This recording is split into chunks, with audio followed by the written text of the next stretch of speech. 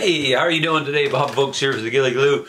Well, here we are in the library, the office, or whatever you want to call it. Uh, but this is a, a, big array of my books here, and stuff that we uh, get involved in and study quite a bit uh, all the time. And that's why I'm in here this morning, or well, this afternoon, or whatever time of day it is. We're just uh, taking some time uh, to reflect on where we are in terms of the season for birding and obviously we're coming into the very first part of October, today being October the 1st. And uh, lots of changes have been taking place.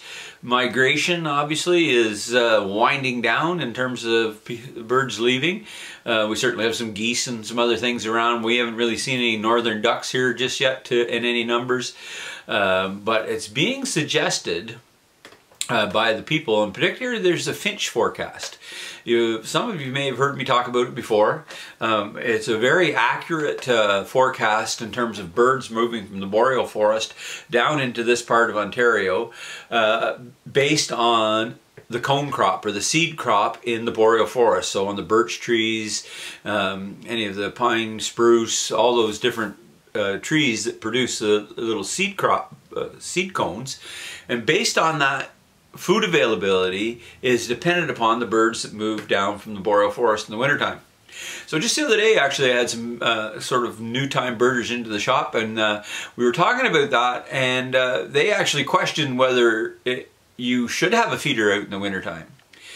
Of course, we went into a whole other conversation about a lot of different things, but as we we know, we get birds in summer we don't get in winter, but we get birds in winter we don't get in summer. And this year is going to be a finch, uh, what they call a finch eruption. And what that means is that because the boreal forest food supply is scarce, we're going to see all of those birds down here looking for food. So by all means, get the finch feeders cleaned up, start getting them filled. As you saw at the start here, there's a we have siskins here already. Uh, the blue jays, uh, people, just by people coming into the store, they've certainly talked about the fact that there seems to be a lot of blue jays around. So they are also you know going to be in need of food and so it's in the finch forecast and we're going to we'll put the the link below but in that finch forecast it's uh, suggesting that the food source is going to be very, very low this year. So the birds are going to rely on us not only for their food, but the water. So we need to get the water out there this winter as well as the food.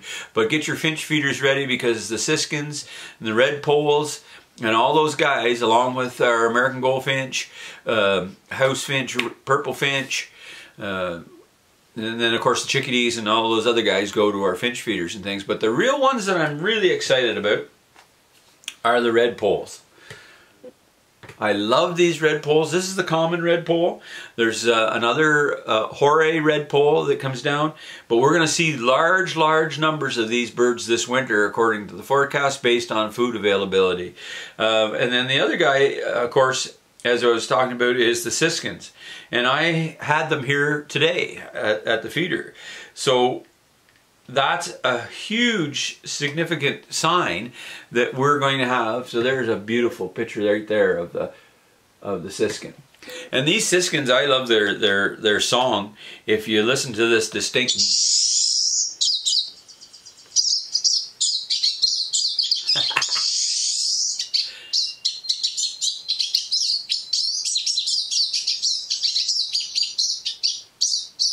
How awesome is that? So be on the lookout for evening grosbeaks, pine grosbeaks, uh, red and red and winged and white winged crossbills perhaps. Although they're a little variant that might be particular locations so it's going to be a great year. Anybody that travels to Algonquin Park at all uh, to look at birds in the wintertime is going to be a great year for that.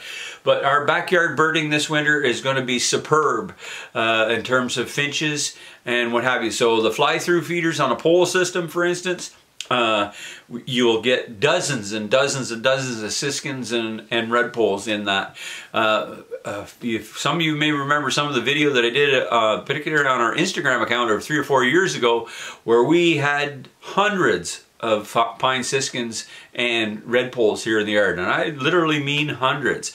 We had three pole systems plus four finch feeders going constantly here and they were just devouring seed like crazy. So we're gonna have a, a great winter here. We're super duper looking forward to it. Uh, any comments or questions, by all means, stop in the shop, leave us a little note here, uh, and or send us an email. We'd be happy to help any way we can. Have yourself a great day and get ready for the eruption. Woo!